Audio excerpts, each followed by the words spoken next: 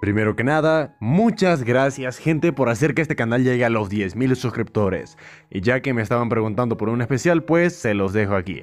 Sin más que decir, comencemos con el video de hoy.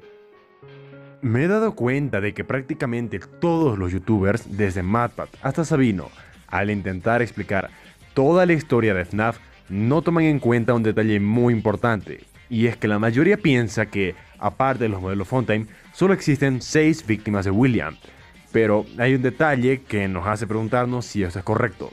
Bueno, al final de FNAF 3 se nos muestran 5 cabezas encendidas. Luego en Pizzeria Simulator se nos muestran 6 tumbas. No conformes con eso, en el minijuego de The Happiest Day también vemos que las almas que se elevan son 6. A este número tenemos que aumentar bastante, pero bueno, tenemos que empezar por el principio. ¿Cuántas muertes tenemos confirmadas? Primero tenemos seguro el asesinato de Charlotte ocurrido en Fredbear's Family Diner en torno al año 83 por parte de William. Luego, en el periódico de FNAF 1, se nos dice que ocurrieron 5 asesinatos por parte de alguien sin identificar. Luego, la muerte de Elizabeth a manos de Baby, la cual no asesinó a Afton directamente. Además de los animatrónicos Fontaine, de los cuales además de Baby estaban poseídos Valora, Fontaine Foxy y Fontaine Freddy. El caso de Valora puede ser explicado con que, si es cierto que es el alma de la señora Afton, quiere decir que William no la asesinó, sino que Valora es una especie de recipiente, un intento desesperado por parte de William de conservar el alma de su esposa.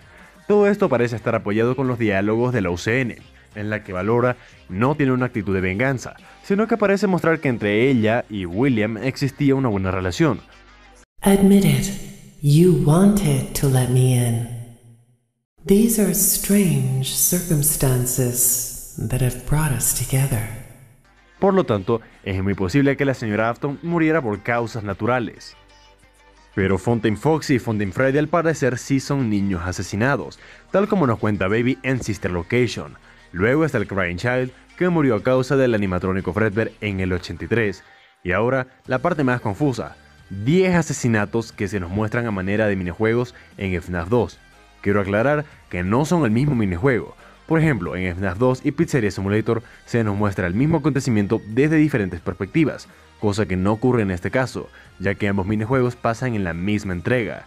Además, en uno de ellos vemos a Foxy funcionando y saliendo de la Pirate Cove, y el único lugar para que se den estas dos condiciones es en Fredbear's Family Diner, ya que en FNAF 1 sí hay una Pirate Cove, pero Foxy estaba fuera de servicio, y en FNAF 2 no existe Pirate Cove, Aquí vemos a William Afton sonriente observando como unos niños están felices de ver a Foxy y luego están muertos, dándonos a entender que el hombre morado manipuló a Foxy para asesinar a los niños. Ahora bien, en el segundo minijuego, vemos a Withered Freddy siguiendo la marioneta por el local de FNAF 2, es decir, cuatro años luego de cuando toma lugar el primer minijuego, y aquí los Withered y Puppet ya están poseídos. No solo eso, sino que Mangle está moviéndose, y el local está lleno de sangre, y hay cinco cadáveres. Luego Michael Afton aparece y el minijuego acaba.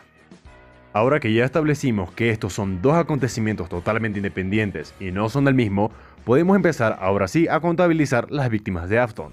Primero mató a Charlotte en Fredbear's en el 83. Más tarde ese mismo año, asesinó vistiéndose de Spring Bonnie a cinco niños más, los cuales poseerían a los animatrónicos originales. Estos son los asesinatos del 26 de junio, los que se nos cuentan en el periódico de FNAF 1. Ahora, los asesinatos del minijuego de Go Go Foxy y aquí es necesario aclarar que William no usa a Foxy para matar a los niños, ya que ellos ya estaban muertos cuando Foxy salió de la Pirate Cove. En mi video, en el que hablo sobre quién es Michael menciono que el Crying Child es el alma atrapada dentro de Golden Freddy.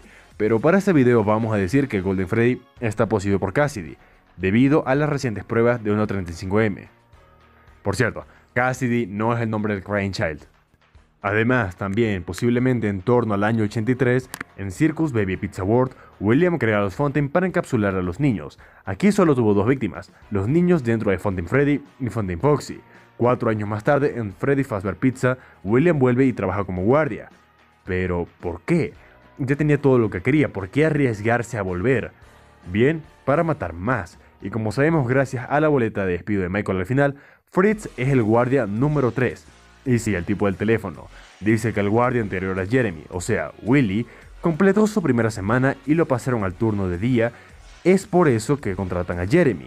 Significa además que este local solo abrió por dos semanas.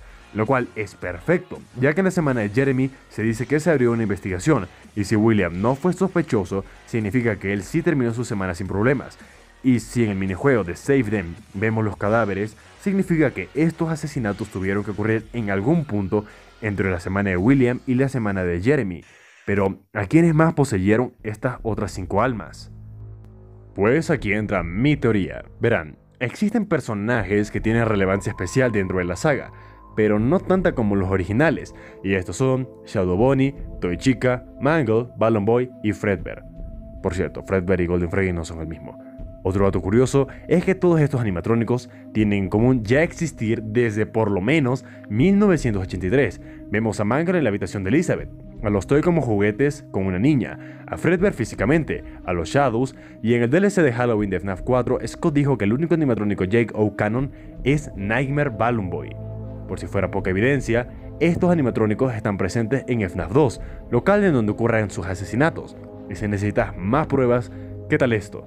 En FNAF 3 tenemos dos tipos de minijuegos, los que narran cómo el hombre morado destruyó a los animatrónicos y muere, y los que completamos para sacar el final bueno del juego. Y, oh Dios mío, miren a quienes controlamos en estos minijuegos, justo esos personajes. Pero, entonces, ¿qué pasó con ellos? Bueno, las almas de todos los Fontaine y Charlie fueron liberadas al final de Pizzeria Simulator. Las de los originales fueron liberadas cuando Fazbear Fright se encendió y las cabezas de estos que estaban iluminadas se destruyeron. Cassidy, la niña de dentro de Golden Freddy, fue liberada en The Happy Day, y estas otras cinco almas fueron liberadas también en FNAF 3. Toy Chica pereció en el incendio, al igual que Balloon Boy, y Mangle en esa caja. Shadow Bonnie ayuda a liberar a los niños, muy probablemente también es liberado en el incendio, pero ahora dijimos que para completar este segundo grupo de víctimas necesitamos a Fredbear, ¿no? Pero si Cassidy ya posee el traje de Golden Freddy, ¿cómo puede ser esto posible?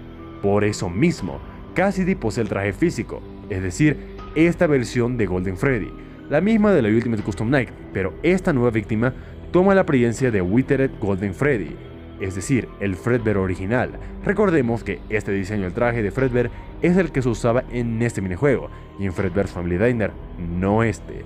Y no solo eso, es muy posible que esto explique incluso la existencia de Shadow Freddy, ya que ambos son alucinaciones y Shadow Freddy solo es una versión morada del traje de Withered Freddy, es decir, que ambos son la misma víctima.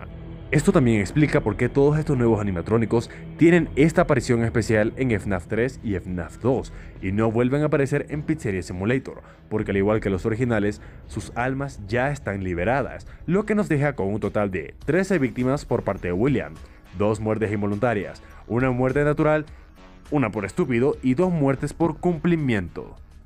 Un saludo para Aaron Geek, un saludo para Julissa, un saludo para Nicolás Sasa, un saludo para Fred Gamer, un saludo para Bricktime y un saludo para El Jesus. Y por último, no olviden visitar el canal de Araya Entertainment, que la verdad este tipo es un crack. Solamente miren este modelo de Molten Freddy que hizo. Eh, es que el tipo es un crack.